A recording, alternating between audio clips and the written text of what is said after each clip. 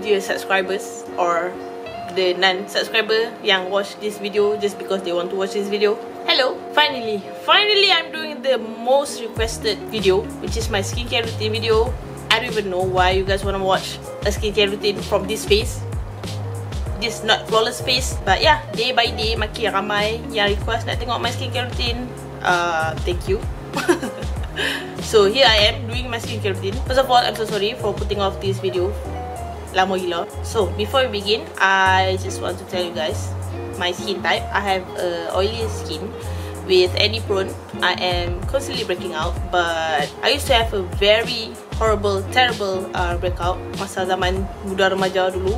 And I went to uh, doktor pakai kulit and got that treated. Alhamdulillah, my skin gets better. Tapi macam doktor cakap, tak boleh nak expect lepas ni tak tumbuh langsung jerawat of course I'm going to get occasional breakouts from stress from you know hormonal breakouts. I didn't bother much with my breakouts because I feel like my acne problems ni macam dia macam embedded in my DNA tau. Memang genetic ada acne problem okay? Because one of my parents I'm not going to tell you which one uh, memang ada breakout sampai sekarang ni pun. And me and my brother we both suffer from acne problems. My breakouts tu taklah seteruk dulu tapi it definitely as not as angry as they used to be okay? Dia macam bertenang sikit. Okay dia pun macam dah pegang tasbih seorang satu so yeah that's the story. Many of you guys uh, seems to think that my skin is better. I won't say that. Macam macam contohnya active acne yang I got few months tu uh, Alhamdulillah I got it uh, treated with my skincare routine. But as you can see ni okay So I am treating them. I don't care much Kalau ada acne 1, 2, 3, 4, 5, 6 tu. Macam Alah Biar lah. So yeah This routine is best suited For oily and acne prone skin. However However Okay This is just a guideline. You don't have to use all of the products that I use. I just want to share Produk ni Natang ni dia buat apa Natang tu dia buat apa To my skin. And Alhamdulillah All of the products ni Have worked wonder On my skin. So you guys should definitely Macam try and error Or which product yang sesuai For your face Okay okay Okay okay. First thing first Of course Cleanser. Okay This is my favorite cleanser My all time favorite cleanser. Papulex Motion Soap free cleansing gel for acne prone skin. When I was getting my treatment from the clinic doktor pakai kulit tu uh, this is the cleanser that he recommended for me and I've been using it ever since. I've gone through bottles and bottles and bottles of this. This is my favorite absolute favorite cleanser. I tell you why I am not going to go in depth uh, macam dia punya ingredient lah apa dia mak nenek ayam. But just know that bila you pakai cleanser ni at first I I feel like macam satu dia memang uh, cleanse your face. But my favorite thing about this cleanser is that it doesn't leave your face feeling so tight afterwards. It doesn't feel like it strip off every moisture and every oil on your face. If anything it feels like it adds more moisture back to your face. So bila cuci tu tak ada rasa macam cong eh oh eh oh. Just squeaky clean. It, it is clean tapi it doesn't feel tight macam macam no this cleanser doesn't feel like that. Rasa muka tu macam moisturize. Okay? Macam mana a cleanser boleh buat muka rasa moisturize? I don't even know. FYI even though I have oily skin I do have dry skin. Faham tak? I get oily throughout the day. Tapi kalau contohnya if I remove my makeup okay guna makeup remover you can feel like my my face is dry as hell. I have a lot of dry patches. I have flaky skin dekat especially around acne tu. So yeah, bukan yang macam starting tu terlalu oily. Kalau I remove my makeup, memang you can tell that my face is very dry. By the way, I'm not an uh, skincare expert. Okay, I just share with you what I know. Kalau salah minta ampun, silalah betulkan. So what I learned is that oily skin ni sebenarnya their face is very dry tau. Oily skin ni sebenarnya dry and dehydrate tau. So the skin tu ingat kita ni tak cukup air, dehydrate. That is why it produce more oil to compensate the dryness. Okay. So that's why muka kita lagi oily sebab dia ingat muka kita ni tak cukup oily, tak cukup um, hydration. So it is not necessarily good for you to strip off all of the moisture and oil from your face. So that is why before this, gila pakai cleanser yang macam bila rasa kering muka macam tu rasa macam oh clean yang muka. Oh shocknya dah tak oily no actually that is not good. Because your skin will think that it doesn't have enough uh, hydration. Therefore it will produce more oil. So you know kita ni memang dah get oily throughout the day. Lepas tu nak tambah lagi oily kan. So that is why this is my favorite cleanser. It is the best for oily skin and also for any prone skin. I feel like over time it also treats my acne. I don't know why. Sometimes I just feel suffocate Rasa macam Oh lemahnya nak pakai all the skincare ni. And I will just stick to this cleanser Believe it or not. I got this from Watson by the way. Uh, I think this cost Like RM80 Memang bertahan lama gila. 4-5 bulan macam tu A very good investment. I highly recommend this one. So next lepas tu I go in with uh, toner The one that I've been using is COSRX AHA BHA Clarifying Treatment Toner. So I use it on a cotton pad and I just spray it on the cotton pad and use it all over my face. So this toner supposedly reduces the appearance of whiteheads, blackheads, blemishes while cleansing the pores. To be honest, I don't think that this uh, toner dia macam clarify my face too much uh, but it feels like it helps in terms of oil control and also I use this toner macam to prep my skin for my next steps because I feel like uh, other products that I put after I use this toner macam absorb better on my face. Yeah, I really love this toner for that for preparation to prep the skin. Okay, after that I put on AHA Whitehead Power Liquid by Cosrx. Okay, set. Okay, set. Okay, so let's talk about acids first. AHA and BHA both are uh, chemical exfoliator. Dia macam gentle exfoliator than a scrub in a gentle yet effective uh, version. So it's a chemical exfoliator lah. So basically muka kita ni dia memang exfoliate naturally tapi bila kita makin tua, proses untuk macam shed the uh, dead skin tu makin lama makin slow kan which resulting in an uneven skin tone, large pores, dryness, uh, flaky skin, uh, you know, congestion, wrinkles, you you know you lost the firmness on your face. So AHA and BHA ni both helps in um, naturally shedding all of those uh, dead skin cells. So it helps in improving your skin tone, makes your face looks even, um, improve the dullness, smooth out your texture, all of those good stuff. So AHA, uh, 2 alpha hydroxy acid, it works uh, on the surface of the skin. BHA, which is beta hydroxy acids, it penetrates um, deeper into your skin. So AHA ni atas, A atas, atas skin. BHA, B bawah skin. So AHA ni macam it works on the surface of your skin, atas skin. BHA works underneath your skin. Okay. Selalunya macam AHA ni recommended for dry skin, BHA untuk oily skin. Sebab AHA ni macam it enhance the moisturizing factor on your skin. Whereas BHA ni it helps in unclog the pores, it helps in acne and blemishes. But I feel like AHA works better with my skin. I don't know why. Maybe I will try BHA more after this. But anyway, I use AHA Whitehead Power Liquid. As I mentioned, this is a gentle uh, exfoliator. Gentle. Are you gentle? Are you gentle?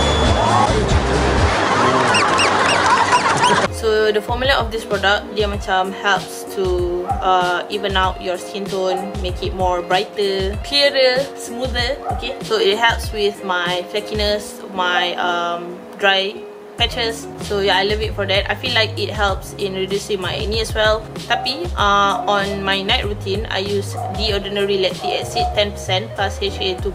This is also AHA, but it, it is a stronger version memang sangat strong lah. Memang rasa macam very acidic. And surprisingly my face my skin loves acids. I don't know why it reacts well. Lagi dia suka tak kalau ada macam tingling tu ke tingling sensation tu lagi my skin suka. I don't know why.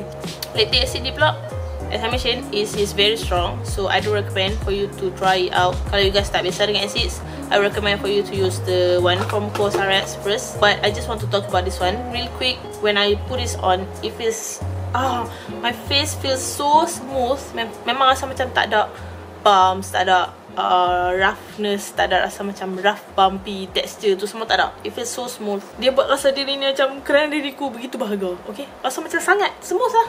Yeah, uh, I think that AHA ataupun BHA is definitely uh, one of important skincare that you should incorporate in your routine because it has it has a lot of benefits okay? Right usually i'll go in with niacinamide 10% plus zinc 1% from the ordinary. This stuff is so good. That is my it is my favorite. So this miracle thing right here it is essentially a vitamin b3 so it is meant for congested skin. If you have hyperpigmentation if you have um, acne scars it has helped um, feed my acne scars so much. I'm going to insert certain clip of my bare face few months back. I want you guys to focus on this area right here. Masa mula-mula tu memang I have a very dark spots over here. But ever since I've uh, used this product I I feel like the scars tu macam dah fade quite a lot. It doesn't completely heal ataupun um, hilang but it has definitely reduced. Bila malam pula, I use the Ordinary Alpha Butane 2% plus HA. This one also help in reducing dark spots and hyperpigmentation. What do you call When I use these two combined, satu siang, satu malam, I feel like my any scars tu dia blur lagi dia lagi cepat fade tau. I got the same scar dekat bawah my jawline ni at the same time I get this one. Okay. Sama-sama gelap, sama-sama tumbuh macam besar dan gelap. Okay. I use the combination of this dekat sini and I just use alpha butane on this spot bawah ni. And this one has faded a lot more like a lot more than the one the spot over here but I don't think that you need both kalau you guys want to try I recommend niacinamide So this one, it, it does help in reducing the look of the blemishes and acne, but it, it is not a treatment for acne. Okay, it is macam post treatment. Okay, lepas lepas acne tu macam dah flat, kita use this one untuk hilangkan the scars. Alright, so after that, tak habis lagi. Oh my god, so many. And and then of course, I moisturize my face. I use the one from Cosrx, All Free Ultra Moisturizing Lotion. I love this moisturizer so much. Sometimes I use more than one pump, okay, because I love it. So if you have ever experienced a dry um dryness due to acne ke, due to I don't know, weather ke, this is the one for you. Exclusive ultra moisturizing ingredients to help maintain water deeply on and under under the skin.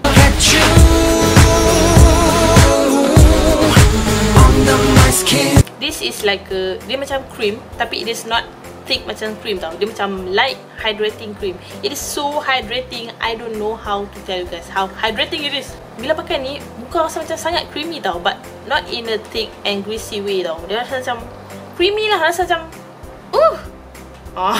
Dia rasa macam kalau kita pergi merentas desa Kan Dahaga Panas-panas buta tengah hari Lepas tu kita minum sangkuik dia macam quench the thirst of a dry skin. Macam tu lah rasanya, okay? And my skin feels so supple and moisturized and nourished. I feel like my foundation application tu lagi lagi best, lagi smooth, lagi best lah kalau I put on this uh, moisturizer underneath.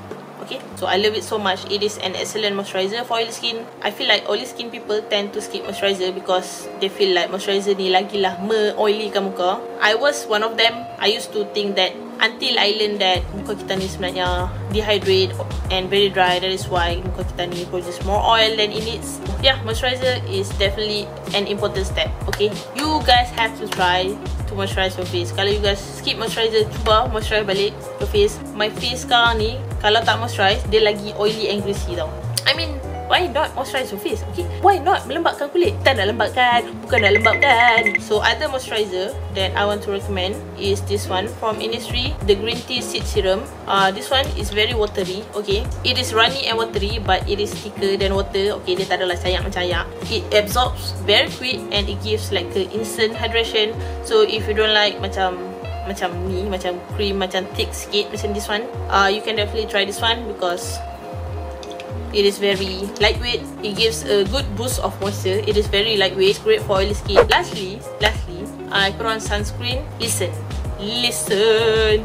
all of those steps that I just show you guys will be meaningless kalau you guys tak kurang sunscreen. Alright, especially if you use uh, exfoliator in your skincare sebab exfoliator tu dia dah remove all of those dead skins, dead cells. So your face is very photosensitive. So dia macam sangat sensitif lah dengan sunlight, sun rays semua tu. So lagilah muka tu lagi cepat burn, lagi cepat you know sun damage. So tak ada gunanya buat semua tu. Kalau tak guna sunscreen to protect your skin okay? So sunscreen don't you ever never ever ever skip sunscreen okay? This is uh, my favorite. I bought this from uh, Watson because it is a moisture gel. Punya sunscreen it absorbs quickly. It doesn't feel heavy. It doesn't feel gunky. Macam typical sunscreen. Sunscreen pun ada macam-macam jenis. Ada chemical sunscreen and also physical sunscreen. So this one is chemical sunscreen. Kalau physical sunscreen tu dia macam yang biasa tu lah. Yang putih melepok muka. Macam pakai temulawak tu. That one is better actually. Tapi my oily skin tak suka. That one especially if I want to put on makeup lepas tu. So this one uh, works best. Underneath makeup yeah better lah guna. Apa-apa sunscreen pun asalkan pakai sunscreen. As for uh, blemish and acne treatment pula kalau I have active breakouts I will use uh, Cosrx acne pimple patch tu okay? I put it on the active acne. Masa tu for a few hours I don't have it right now because dah habis.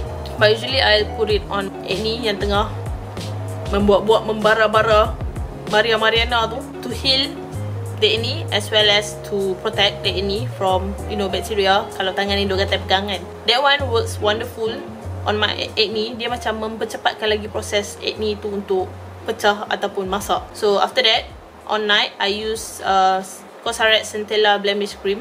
And I use it to spot treat my active acne. This also is one of my favorite. It macam is very strong in calming the redness and inflammation. I don't use it all over my face. I just use it as a spot treatment. It helps in healing bad breakouts. So dia sebenarnya um, reduce acne while minimizing the appearance of scar. I don't notice much scars fading when i use this one but it definitely help in flattening my acne faster okay bila i put it as spot treatment acne tu lagi cepat dia flat so yeah the Cosrx acne pimple patch and also this one is my favorite combo in treating my active acne. Right, that's it. Lenguh rahang tengok. So, puas hati dah tengok my skincare routine. Ha?